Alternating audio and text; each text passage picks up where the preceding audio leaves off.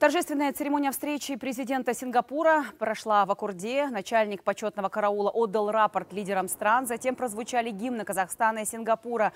Напомню, Халима Якоб прибыла в Астану с государственным визитом. Сегодня второй день ее пребывания. Президенты двух стран подписали соглашение о торговле услугами и инвестициях. Документально подтвердили также планы по наращиванию потенциала для госслужащих стран Центральной Азии. В ходе двусторонних переговоров лидеры Казахстана и Сингапура обсудили расширение экспортных возможностей, а также открытие совместных предприятий в нашей стране. Речь идет об инвестиционном проекте по строительству G4 City вблизи Алматы. Касым Жумар Тукаев отметил, что у двух государств есть прочная институциональная база для дальнейшего сотрудничества. В ней важную роль играет Казахско-Сингапурский деловой совет. И в свою очередь Халима Якоп выразила благодарность Касым Жумарту Тукаеву, также высоко оценила уровень политического диалога между странами.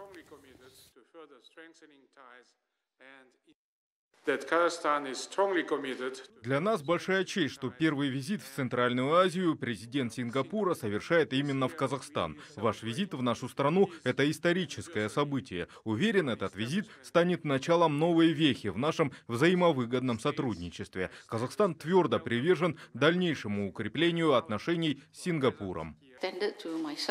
Казахстан является очень ценным партнером для нас в регионе Центральной Азии, потому что мы видим, что по сути ваша страна региональный лидер. Это очень важно для нас, и мы поддерживаем очень хорошие отношения на протяжении многих лет. У нас не только теплые отношения, но и общая приверженность таким принципам, как открытость и порядок. И это то, что важно как для Казахстана, так и для нас.